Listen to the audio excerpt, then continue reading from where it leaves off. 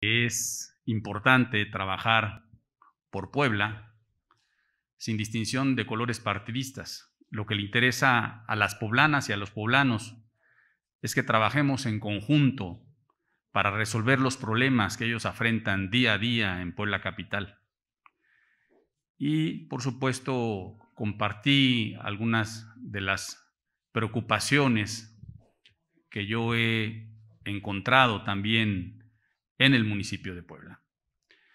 Y la verdad es que he tenido una grata respuesta del gobernador en esta coincidencia, en donde ambos, eh, vaya la redundancia, coincidimos en que hay que hacer equipo, que hay que hacer equipo para trabajar por Puebla, por las y los poblanos.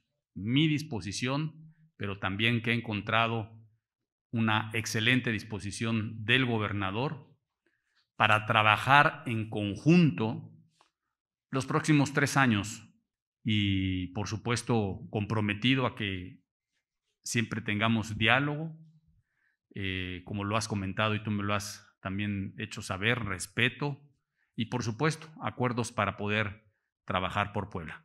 Yo te lo, te lo agradezco porque creo que bien los poblanos merecen que trabajemos en conjunto por, por su bien. Gobierno de Puebla, hacer historia, hacer futuro.